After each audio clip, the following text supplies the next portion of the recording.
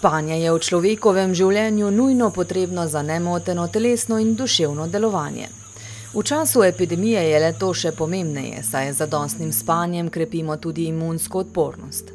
O tem, kako spimo ter kakšna so priporočila za zdrav spanec odraslih, otrok in mladostnikov, smo spregovorili s strokovnjakinjo z Nacionalnega inštituta za javno zdravje Marjeto Peperko. Ja, pomankanje spanja in slaba kakovost spanja eh, predvidi številne škodljive zdravstvene izide.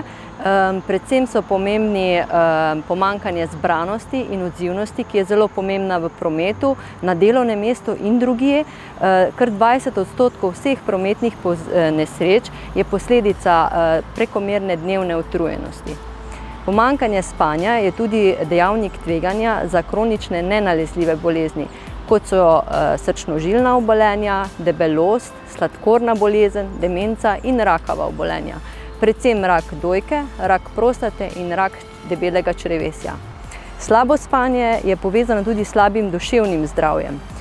Prav tako pomankanje spanja vodi v prekomerno prehranjenost in debelost, ki se povečuje. Slovenci spimo slabo. Eh, raziskava zdravjem povezan življenjski slog, ki ga Nacionalni inštitut za javno zdravje opravlja vsaka štiri leta in je bila opravljena tudi leta 2020, je pokazala, da skladno s priporočili, kar je za odrasle od 7 eh, do 9 ur spanja na noč, spi le 33 odstotkov moških in 37 odstotkov žensk. Eh, čisto nova je raziskava Panda, kjer ocenjujemo vpliv epidemije na zdravje posameznika, sedmi val je bil narejen uh, konec februarja in je pokazal, da kar 60 odstotkov slovenk in slovencev v času epidemije uh, svoje, je svoje spanje poslabšalo. In ti, ki slabše spijo, imajo tudi več težav v duševnem zdravju. Pomembno je, da vsak dan vstajamo v isti uri in tudi hodimo spat v isti uri.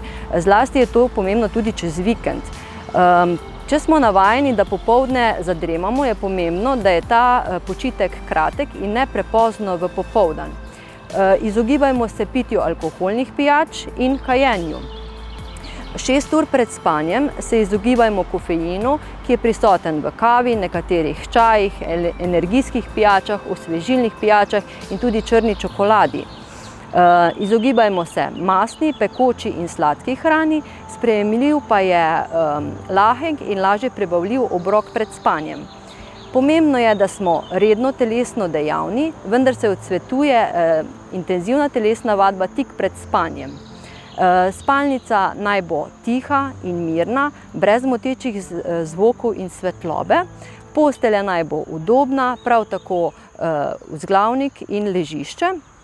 Pomembno je, da svojo spalnico uporabljamo za spanje in spolnost in ne uporabljamo kot delovno sobo ali telovadnico.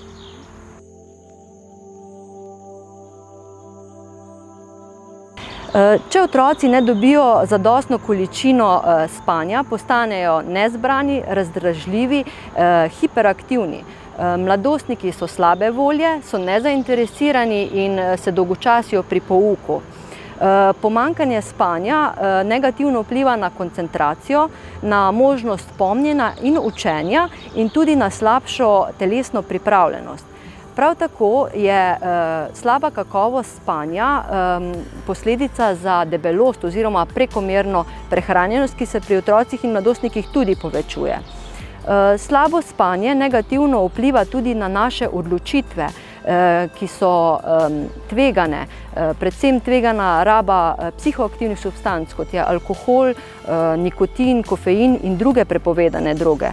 Prav tako je lahko posledica pomankanja spanja agresivno in neprimerno vedenje,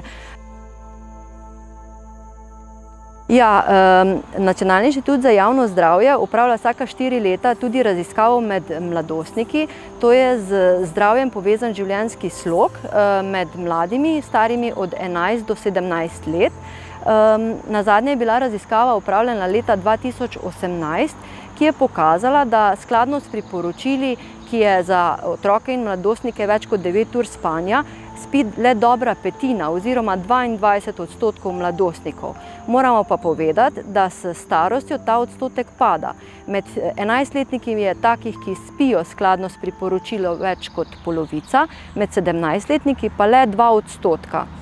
Zanimiva je tudi primerjava z letom 2014, ko je skladno s priporočili spalo 33 odstotkov mladostnikov, kar je 9 odstotkov več kot leta 2018. Eden od vzrokov je čisto naravna in biološka zakasnitev pri uspavanju, eh, ker pride do zakasnitve izločanja hormona spanja melatonina. Zato mladostniki hodijo v posteljo kasneje, ker so, ker so kasneje tudi zaspani. Eh, druga težava je zgoden pouk eh, v šolah, kar še zlasti vpliva na tiste dijake oziroma učence, ki se vozijo v šolo z avtobusom in ne morejo zadostiti svojim potrebam po spanju. Potem je tu tudi uporaba elektronskih naprav pred spanjem, ki sevajo modro svetlobo in prav tako zavirajo uh, izločanje melatonina in s tem uh, zakasnijo uspavanje. Uh, potem pa je tu še socializacija oziroma vključevanje v družabno življenje, ki za seboj potegne predolgo bedenje zlasti čez vikendi in to pripelje do pomankanja spanja že v začetku tedna.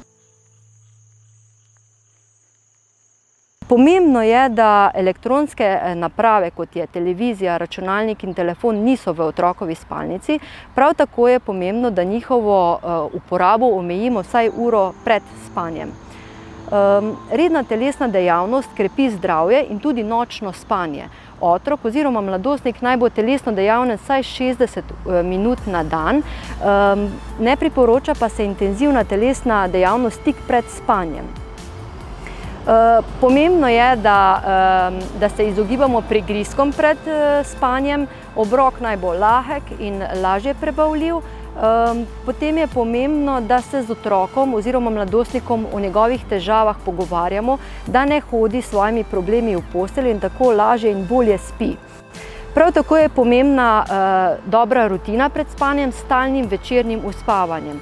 Izogibamo se uh, predolgim spanjem čez, vikendom, čez vikende, uh, ker to moti uh, mladostnikov oziroma otrokovo cirkadijano oziroma biološko uro. Spremljajte nas še naprej. Vaša spletna lokalna televizija TV Laško.